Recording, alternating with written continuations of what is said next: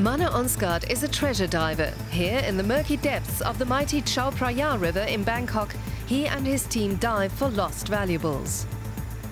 Centuries ago, Thai royals, merchants, and immigrants from all over the world settled on the banks of the river. Even today, the Chao Phraya remains a treasure trove.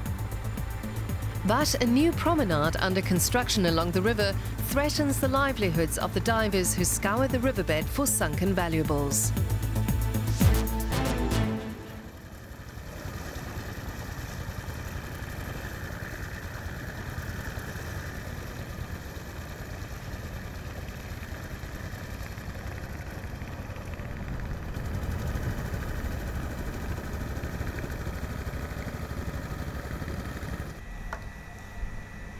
Mana Onsgaard's home looks a bit like an antique store.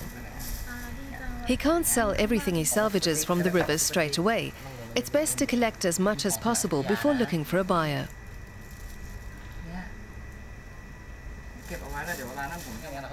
In recent weeks, he's collected amulets, coins and glass beads. Mana comes home with the haul pretty much every single day, but it doesn't always include anything of real value. ทำก็เก่งนะใส่ปากเลย มันจะไม่ขม If I find something underwater that I think could be gold, I bite on ลื่ it. น คือองค์เข้าไปมันจะเป็นเหมือนธรรมชาติธรรมดา Most metals have a bitter taste, but gold doesn't taste of anything. It's heavy and มันเข้าใจ smooth. เลย มันมีของที่มันเป็นทองเหลืองอัน A gold breastplate is the most valuable thing I ever found. มัน It was seven years ago after the 2011 floods. ปี 55 ปี 55เพราะหลั I งจาก got ปี54 1,300 euros for it. นั่นแหละมันเปิด I sold this ring for 800 euros. มันจะหนัก That was a while มันจะ ago. ลื่น The buyers are antique dealers. Mana doesn't want to name them. He knows the whole trade in sunken treasure is a legal grey area. ไม่ใช่ของที่ว่าเป็น Of course, all these things belonged to someone before they ended up in the water. But as long as they aren't national relics, you can keep them.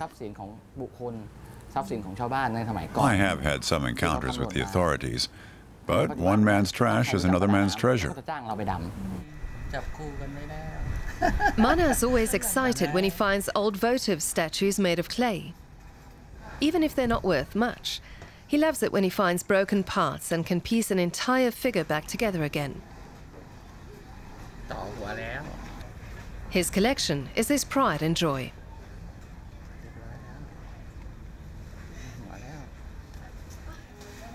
Mana lives in a house on stilts, directly on the river. The settlement is called Mitakam, and was built around 100 years ago. Mana's grandfather was one of the first inhabitants. Today, the floating village of Mitakam is home to about 120 people. Most of the men are treasure divers, like Mana.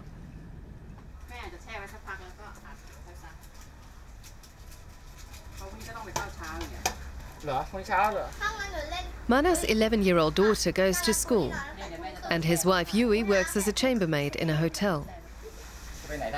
She used to go out with him when he went diving, but only as a lookout. Traditionally, women don't dive themselves. It's not women's work, unless you're especially brave. The thought of being underwater scares me. You don't know what's down there shards of glass, nails. My husband is an experienced diver, but I still worry every time he goes diving. Mana likes to make an early start. In the morning, the current is less strong and there are fewer tourist boats on the water. He has his own boat that he keeps moored outside his house. The treasure divers always work in pairs. The job's too dangerous to do alone. Mana and his partner Prayad have been working together for years. They share the proceeds of whatever they find.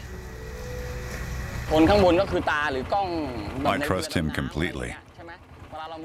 If you're not experienced, diving can be fatal. My partner is like a submarine periscope. If there's a problem, he tugs the dive line, and I know I need to head back up straight away.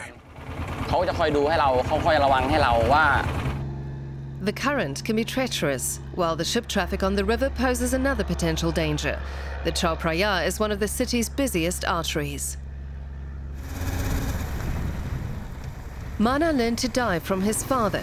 It's the only skill he has.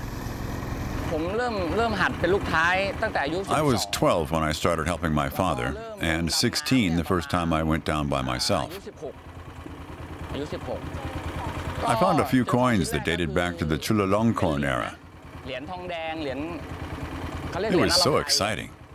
It felt amazing.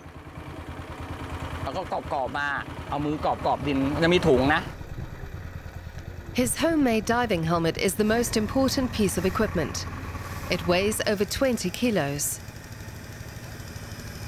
The treasure divers are a close knit community. Even though they're rivals, at the end of the day, they have each other's backs.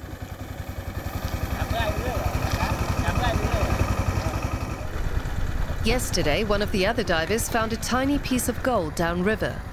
Now all the others are eager to try their luck there too. They're gripped by gold rush fever. While Prayad lays anchor, Mana gets ready for his first dive. That involves the traditional wai khru ceremony. Mana pays his respects to his ancestors and asks them to protect him.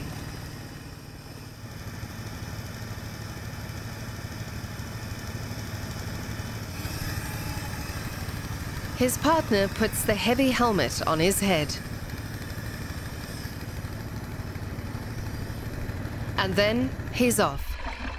The weight of it pushes him straight under. There's zero visibility underwater.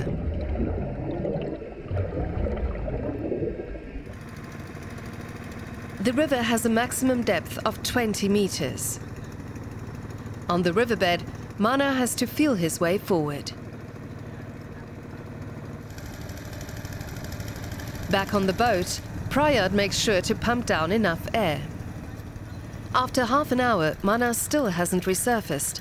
That's unusual. Normally he doesn't stay under that long. He's been down there a while. I'm looking forward to seeing what he's found. Divers in a nearby boat have recovered a piece of scrap metal. It's not exactly treasure, but they'll get a few baht for it.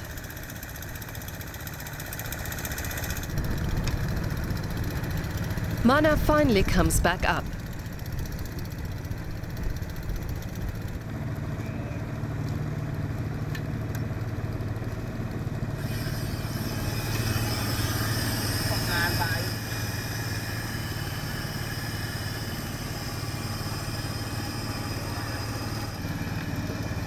He shows us a handful of coins that he's found.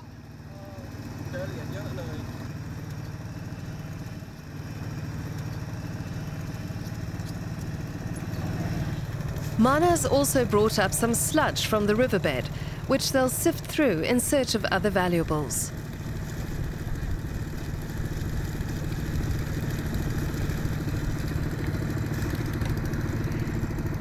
Today's findings include a piece of fishing sinker and a few more coins from the 19th century. I'm happy enough. Coins like these aren't all that special. I find quite a few of them. You can get one or two hundred baht for them. Obviously, gold is much more valuable, but gold isn't something you find every day. Mana and Prayad spent about six hours on the water today, taking it in turns to go diving. By the end of the day, they've recovered some two dozen old coins. They'll make about 25 euros, over three times more than what they would have earned in a minimum wage job. Mana hopes he'll be able to continue making a living as a treasure diver. The river is a gift that keeps on giving. มีถามมีไหมมันยังมีอยู่นะ Well, I'm sure แต่ว่า there's เรายัง lots ไม่ more in สามารถ the river. มันได้ You เนื่อง just จาก need some ว่า luck and the right current to find it. มีโคลนมีอะไรที่แบบ The มันยัง current ปกปิด keeps unearthing more of the ที่ riverbed. เราเรียกกันว่า It's like farming. You have to know the best time to harvest. ของจะเยอะ But even if the Chao Phraya River hasn't relinquished all its treasure yet, the village of Mitakam's days are numbered. The houses on stilts will be removed for the new riverside promenade. The residents will have to move out by next year.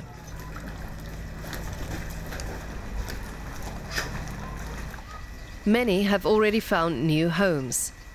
Some of the huts have been torn down.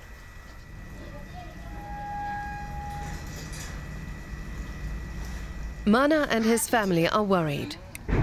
The authorities have offered to relocate the residents of Mitakam, but to a piece of land that's 10 kilometers away, a long way from the river. Mana has always lived on the water. He doesn't want to move to what he calls the mainland.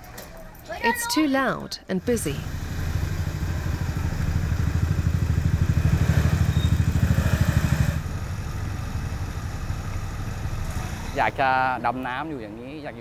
My family has lived on the water for decades.